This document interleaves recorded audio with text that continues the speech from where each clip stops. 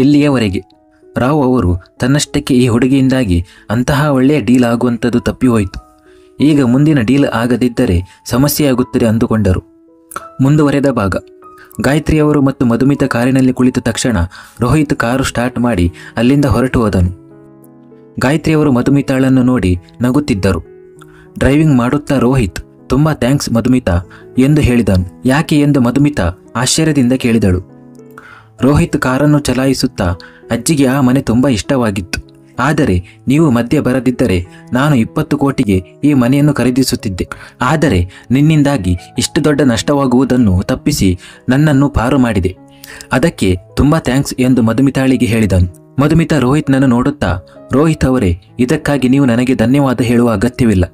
ಅಲ್ಲಿ ನಾನು ನನಗೆ ತಿಳಿದಿರುವ ವಿಷಯವನ್ನು ಮಾತ್ರ ಹೇಳಿದ್ದೇನೆ. ಎಂದಾಗ ರೋಹಿತ್ ನಗಲು ಶುರು ಮಾಡಿದನು. ಇತ್ತ ಕಡೆ ಕಿರಣ್ ತನ್ನ ಕಾರನ್ನು ಖಾಲಿ ಇದ್ದ ಜಾಗದ ಬಳಿ ತಂದು ನಿಲ್ಲಿಸಿದನು. ಆದಿಯನ್ನು ಅಲ್ಲಿ ನೋಡಿದ ಕೂಡಲೇ ಕಾರಿನಿಂದ ಇಳಿದು ತನ್ನ ಕನ್ನಡಕವನ್ನು ತೆಗೆದು ಅವನೆಡೆಗೆ ಸಾಗಿದನು. ಕಿರಣ್ ತನ್ನೆಡೆಗೆ ಬರುವುದನ್ನು ನೋಡಿ ಆದಿ ಚಡಪಡಿಸುತ್ತಾ ಮೂಕನಾಗಿ ನಿಂತುಕೊಂಡವನು ತನ್ನ ಮನಸ್ಸಿನಲ್ಲಿಯೇ, ಓ ದೇವರೇ, ಈ ರಾವು ಇನ್ನೂ ಬಂದಿಲ್ಲ. ಆದರೆ ಕಿರಣ್ ಸರ್ ಇಂದು ಸಮಯಕ್ಕೆ ಸರಿಯಾಗಿ ಬಂದಿದ್ದಾರೆ. ನಾನೀಗ ಏನು ಮಾಡಲಿ? ಕಿರಣ್ ಸರ್ ಅವರನ್ನು ಎರಡು ನಿಮಿಷ ಕಾಯಲು ಕೇಳಿದರೆ ಅವರು ನನ್ನನ್ನು ಈ ಭೂಮಿಯಲ್ಲಿ ಜೀವಂತವಾಗಿ ಹೂತಾಕಿ ಬಿಡುತ್ತಾರೆ. ಓ ದೇವರೇ, ದಯವಿಟ್ಟು ಇಂದು ನನ್ನನ್ನು ರಕ್ಷಿಸು ಎಂದು ಅಂದುಕೊಂಡನು. ಕಿರಣ್ ಆದಿಯ ಬಳಿಗೆ ಬಂದು ಸುತ್ತಲೂ ನೋಡುತ್ತಾ, ನಾವು ಭೂಮಿಯ ಡೀಲನ್ನು ಈ ಮಣ್ಣಿನೊಂದಿಗೆ ಮಾಡಿಕೊಳ್ಳುವುದಾ ಅಥವಾ ಈ ಗಾಳಿಯೊಂದಿಗ ಎಂದು ಕೇಳಿದನು. ಅವನ ಮಾತನ್ನು ಕೇಳಿದ ಆದಿ, ಸರ್, ಎಂದು ಆಶ್ಚರ್ಯದಿಂದ ಕೇಳಿದನು. ಕಿರಣ್ ಕೋಪದಿಂದ ಆದಿಯನ್ನು ದಿಟ್ಟಿಸಿದಾಗ ಆದಿ ಭಯದಿಂದ, ಸರ್, ಏಜೆಂಟ್ ಇನ್ನೂ ಬಂದಿಲ್ಲ ಎಂದನು. ಇದನ್ನು ಕೇಳಿದ ಕಿರಣ್ನ ತಲೆ ಕೆಟ್ಟಿತು. ಅವನು ಕೋಪದಿಂದ ಮುಷ್ಟಿಯನ್ನು ಬಿಗಿದುಕೊಂಡು ಆದಿಯನ್ನೇ ದಿಟ್ಟಿಸತೊಡಗಿದನು. ಆದರೆ ಆದಿಗೆ ಕಿರಣ್ ಏನನ್ನೋ ಹೇಳುವ ಮೊದಲೇ ಆದಿಯ ಕಣ್ಣುಗಳು ವೇಗವಾಗಿ ಹೆಜ್ಜೆ ಹಾಕುತ್ತಾ ತಮ್ಮೆಡೆಗೆ ನಡೆದುಕೊಂಡು ಬರುತ್ತಿದ್ದ ಏಜೆಂಟ್ನ ಮೇಲೆ ಬಿದ್ದವು. ಆದಿ ತಕ್ಷಣ, ಸರ್, ಏಜೆಂಟ್ ಬರುತ್ತಿದ್ದಾರೆ ಎಂದು ಹೇಳಿದನು. ಕಿರಣ್ ತಿರುಗಿ ಏಜೆಂಟ್ ಕಡೆ ನೋಡಿದನು. ಆದಿಗೆ ಮತ್ತೆ ಜೀವ ಬಂದಂತಾಯಿತು. ಏಜೆಂಟ್ ಹತ್ತಿರ ಬಂದ ತಕ್ಷಣ ಆದಿ, ರಾವ್ ಅವರೇ, ಇವರು ನಮ್ಮ ಬಾಸ್ ಎಂದು ಅವರಿಗೆ ಪರಿಚಯಿಸಿದನು. ರಾವ್ ಅವರು ಕೈಯನ್ನು ಮುಂದೆ ಚಾಚುತ್ತಾ, ಹೆಲೋ ಎನ್ನಲು, ಕಿರಣ್ ಕೈ ಕುಲುಕದೆ, ನೆಲದ ಕಡೆ ನೋಡುತ್ತಾ, ನಾನು ಡೀಲನ್ನು ಕಂಪ್ಲೀಟ್ ಮಾಡಿದ ನಂತರವೇ ಏಜೆಂಟ್ನೊಂದಿಗೆ ಕೈ ಕುಲುಕಲು ಇಷ್ಟಪಡುತ್ತೇನೆ ಎಂದು ಹೇಳಿದನು. ಇದನ್ನು ಕೇಳಿದ ರಾವ್ ತನ್ನ ಕೈಯನ್ನು ಹಿಂತೆಗೆದುಕೊಂಡು, ನೋಡಿ ಸರ್, ಇದರಲ್ಲಿ ಇಪ್ಪತ್ತು ಎಕರೆ ಭೂಮಿ ಇದೆ. ಅದು ಕೂಡ ಹೆದ್ದಾರಿಯ ಪಕ್ಕದಲ್ಲೇ ಇದೆ. ಆದ್ದರಿಂದ ಬೆಲೆ ಕೂಡ ಕೋಟಿಗಟ್ಟಲೆ ಇರುತ್ತದೆ ಎಂಬುದು ಸ್ಪಷ್ಟವಾಗಿ ತಿಳಿದಿರಬೇಕು. ಎಂದಾಗ ಕಿರಣ್ ನೆಲದ ಮೇಲೆ ಮಂಡಿಯೂರಿ ಕುಳಿತು ಸ್ವಲ್ಪ ಮಣ್ಣನ್ನು ಎತ್ತಿಕೊಂಡು, ರೇಟ್ ಹೇಳಿ ಎಂದನು. ರಾವ್ ಅವರು ತಕ್ಷಣ ಇನ್ನೂರು ಕೋಟಿ ಎಂದು ಹೇಳಿದರು. ಕಿರಣ್ ಕೈಯಿಂದ ಮಣ್ಣನ್ನು ಕೆಳಗಡೆ ಹಾಕಿ ಎದ್ದು ರಾವ್ ಅವರನ್ನು ನೋಡಿ ನನಗೆ ಬೇಕಾಗಿಲ್ಲ ಎಂದನು. ರಾವ್ ಅವರು ಆಶ್ಚರ್ಯದಿಂದ ಕಿರಣ್ ಕಡೆಗೆ ನೋಡತೊಡಗಿದರು. ಹೋಗೋಣ ಆದಿ ಎಂದು ಕಿರಣ್ ಆದಿಯನ್ನು ನೋಡಿ ಹೇಳಿದನು. ಅವನ ಮಾತಿಗೆ ಆದಿ ತಲೆ ಆಡಿಸಿದನು. ಕಿರಣ್ ಹೊರಡಲು ಮುಂದಾದಾಗ ಆದಿ ಕೂಡ ಅವನನ್ನು ಹಿಂಬಾಲಿಸಿದನು. ರಾವ್ ಅವರು ಬಹಳ ಅಹಂಕಾರದಿಂದ ಒಂದು ವೇಳೆ ಸರ್ ನೀವು ಬೇಡವೆಂದರೆ ಬೇರೆಯವರು ತೆಗೆದುಕೊಳ್ಳುತ್ತಾರೆ. ಈ ಭೂಮಿಗೆ ನನ್ನ ಬಳಿ ತುಂಬ ಜನ ಗ್ರಾಹಕರು ಇದ್ದಾರೆ ಎಂದು ಹೇಳಿದರು. ಇದನ್ನು ಕೇಳಿದ ಕಿರಣ್ ಕೆಲವು ಹೆಜ್ಜೆ ನಡೆದ ನಂತರ ನಿಂತು ರಾವ್ ಕಡೆಗೆ ಹಿಂತಿರುಗಿ ನೋಡಿ, ನಾನು ಖಂಡಿತವಾಗಿಯೂ ಖರೀದಿಸುತ್ತೇನೆ, ಆದರೆ ನೀವು ಹೇಳುವ ಬೆಲೆಗೆ ಅಲ್ಲ. ಈ ಜಾಗಕ್ಕೆ ಇದು ಸರಿಯಾದ ಮೊತ್ತ ಎಂಬ ಕಾರಣಕ್ಕೆ ಈ ಭೂಮಿಗೆ ಕೇವಲ ನೂರೈವತ್ತು ಕೋಟಿ ನೀಡುತ್ತೇನೆ. ಈಗ ಚೆಕ್ ತೆಗೆದುಕೊಳ್ಳಿ ಮತ್ತು ಡೀಲನ್ನು ಫೈನಲ್ ಮಾಡಿ ಎಂದು ಹೇಳಿದನು. ರಾವ್ ಅವರು ನಗುತ್ತಾ, ಸರ್ ಹೋಗಿ ಕೋಡಿಯಲ್ಲಿ ಜಮೀನು ಖರೀದಿಸಿ. ಇದಕ್ಕಿಂತ ದೊಡ್ಡ ಭೂಮಿ ಅರ್ಧಕ್ಕಿಂತ ಕಡಿಮೆ ಬೆಲೆಗೆ ಸಿಗುತ್ತದೆ ಎಂದು ಹೇಳಿದರು.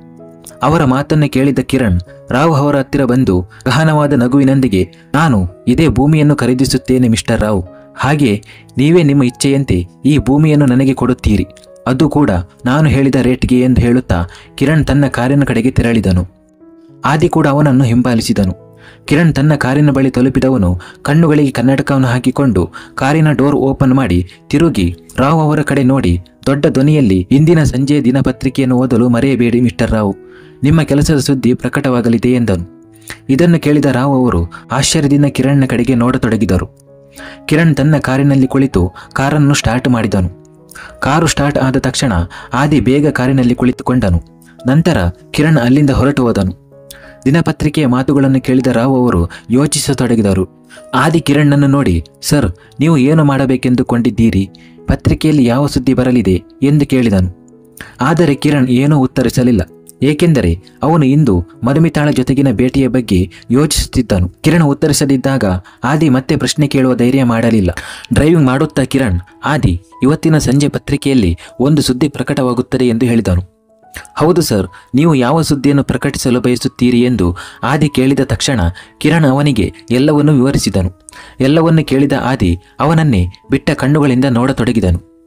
ಆದಿ ಅವನನ್ನು ಈ ರೀತಿ ದುರುಗುಟ್ಟಿ ನೋಡುತ್ತಿರುವುದನ್ನು ನೋಡಿದ ಕಿರಣ್ ಕೋಪದಿಂದ, ನೀನು ನನ್ನನ್ನು ತಿನ್ನುತ್ತೀಯಾ? ಎಂದು ಕೇಳಿದನು. ಆದಿ ತಕ್ಷಣ, ಇಲ್ಲ ಎಂದು ತಲೆ ಅಡಿಸಿದನು. ಕಿರಣ್ ಕೋಪದಿಂದ ಮತ್ತೆ ಹೇಳಿದನು, ಹಾಗಾದರೆ ನಾನು ಏನು ಹೇಳಿದ್ದೇನೋ ಅದನ್ನು ಮಾಡು, ಬೇಗ. ಎಂದಾಗ ಆದಿ ತಕ್ಷಣ ನ್ಯೂಸ್ ಪೇಪರ್ನವರಿಗೆ ಕರೆ ಮಾಡಿದನು. ಇತ್ತ ಕಡೆ ರೋಹಿತ್ ಕಾರು ಚಲಾಯಿಸುತ್ತಾ ಮಧುಮಿತಾಳ ಬಗ್ಗೆ ಯೋಚಿಸುತ್ತಾ ನಗುತ್ತಿದ್ದನು. ಅವನು ಮಧುಮಿತಾಳನ್ನು ಮತ್ತೆ ಮತ್ತೆ ನೋಡುತ್ತಿದ್ದನು. ಆದರೆ ಮಧುಮಿತ ಕಿಟಕಿಯಿಂದ ಹೊರಗೆ ನೋಡುತ್ತಾ ಮನೆಯಲ್ಲಿ ಶಿಮಲಾಗಿ ಹೋಗುವ ವಿಚಾರದ ಬಗ್ಗೆ ಹೇಗೆ ಮಾತನಾಡಬೇಕೆಂದು ಯೋಚಿಸುತ್ತಿದ್ದಳು. ಅಷ್ಟರಲ್ಲಿ ಅವಳ ಫೋನ್ ರಿಂಗಣಿಸಿತು ಅಪ್ಪನ ಹೆಸರು ನೋಡಿ ನಗುತ್ತಾ ಫೋನ್ ರಿಸೀವ್ ಮಾಡಿ ಚೆಕಪ್ ಆಯ್ತಾ ಪಪ್ಪ ಎಂದು ಕೇಳಿದಳು. ಮೋಹನ್ ರವರು ನಗುತ್ತಾ, ಹೌದು ಮಗಳೇ, ಚೆಕಪ್ ಎಲ್ಲ ಆಯಿತು. ಡಾಕ್ಟರ್ ಇನ್ನು ಕೆಲವು ದಿನಗಳವರೆಗೆ ಔಷಧಿ ತೆಗೆದುಕೊಳ್ಳುವಂತೆ ಹೇಳಿದ್ದಾರೆ. ನಂತರ ಎಕ್ಸಸೈಸ್ ಶುರು ಮಾಡುತ್ತೇವೆ ಎಂದು ಡಾಕ್ಟರ್ ಹೇಳಿದರು, ಎಂದರು. ಅವರ ಮಾತನ್ನು ಕೇಳಿ ಮಧುಮಿತಾ ತುಂಬಾ ಸಂತೋಷಪಟ್ಟಳು. ಮತ್ತು ಅವಳು ನಗುತ್ತಾ, ಇದು ತುಂಬ ಒಳ್ಳೆಯ ವಿಚಾರ ಅಪ್ಪ. ಆದಷ್ಟು ಬೇಗ ನೀವು ಮತ್ತೆ ಮೊದಲಿನಂತೆ ನಡೆಯಲು ಆರಂಭಿಸುವಿರಿ ಎಂದು ಹೇಳಿದಳು. ಅವಳ ಮಾತಿಗೆ ಮೋಹನ್ ರವರು ನಗತೊಡಗಿದರು. ಅಪ್ಪ, ನೀವು ಮನೆಗೆ ತಲುಪಿದ್ದೀರಾ? ಎಂದು ಮಧುಮಿತಾ ಕೇಳಿದಳು. ಹೌದು ಮಗಳೇ, ಮೀರಾ ಈಗಷ್ಟೇ ನನ್ನನ್ನು ನಿನ್ನ ತಾಯಿಯನ್ನು ಮನೆಯಲ್ಲಿ ಬಿಟ್ಟು ಹೋದಳು ಎಂದು ಮೋಹನ್ ರವರು ಹೇಳಿದರು. ಮಧುಮಿತ ನಗುತ್ತಾ, ಸರಿ ಪಪ್ಪ, ಈಗ ನಾನು ಫೋನ್ ಇಡುತ್ತೇನೆ. ಸಂಜೆ ಮನೆಗೆ ಬಂದು ಮಾತನಾಡುತ್ತೇನೆ ಎಂದು ಹೇಳಿದಳು. ಸರಿ ಮಗಳೇ ಎಂದು ಮೋಹನ್ ರವರು ಹೇಳಿದ ತಕ್ಷಣ ಮಧುಮಿತ ಫೋನ್ ಡಿಸ್ಕನೆಕ್ಟ್ ಮಾಡಿದಳು. ರೋಹಿತ್ ತನ್ನ ಕಾರನ್ನು ಒಂದು ಹೋಟೆಲ್ ಬಳಿ ನಿಲ್ಲಿಸಿದನು. ಕಾರು ನಿಂತ ತಕ್ಷಣ ಮಧುಮಿತ ಸುತ್ತಲೂ ನೋಡತೊಡಗಿದಳು. ರೋಹಿತ್ ಅವಳನ್ನು ನೋಡಿ ನಗುತ್ತಾ, ನನಗೆ ತುಂಬ ಹಸಿವಾಗುತ್ತಿದೆ. ಮತ್ತು ನೀವು ಮತ್ತು ಅಜ್ಜಿ ಕೂಡ ಹಸಿದಿರಬೇಕೆಂದು ನಾನು ಅಂದುಕೊಂಡಿದ್ದೇನೆ. ಅಲ್ಲವ ಅಜ್ಜಿ ಎಂದು ಹೇಳುತ್ತಾ ರೋಹಿತ್ ಗಾಯತ್ರಿಯವರ ಕಡೆ ನೋಡಿದನು. ಗಾಯತ್ರಿಯವರು ನಸುನಗುತ್ತಾ ಕಾರಿನಿಂದ ಹೊರಬಂದು ಹೇಳಿದರು. ನೀನು ಹೇಳಿದ್ದು ಖಂಡಿತ ಸರಿ ಮಗನೇ, ನಮಗೆ ತುಂಬ ಹಸಿವಾಗಿದೆ ಎಂದು ಗಾಯತ್ರಿಯವರು ಹೇಳಿದ ತಕ್ಷಣ ಮಧುಮಿತ ಕೂಡ ಕಾರಿನಿಂದ ಹೊರಬಂದಳು. ರೋಹಿತ್ ಮಧುಮಿತಳನ್ನು ನೋಡಿ, ಮಧು, ನೀನು ಅಜ್ಜಿಯ ಜೊತೆಗೆ ಒಳಗೆ ಹೋಗು, ನಾನು ಕಾರನ್ನು ಪಾರ್ಕ್ ಮಾಡಿ ಬರುತ್ತೇನೆ ಎಂದನು. ಮಧುಮಿತ ತಲೆಯಾಡಿಸುತ್ತಿದ್ದಂತೆ ರೋಹಿತ್ ಕಾರನ್ನು ಚಲಾಯಿಸಿದನು. ಅವನು ಹೋದ ತಕ್ಷಣ ಮಧುಮಿತ ಗಾಯತ್ರಿಯವರ ತೋಳು ಹಿಡಿದು ಬನ್ನಿ ಅಜ್ಜಿ ಎಂದು ಅವರನ್ನು ಒಳಗೆ ಕರೆದುಕೊಂಡು ಹೋದಳು. ಮುಂದುವರಿಯುವುದು.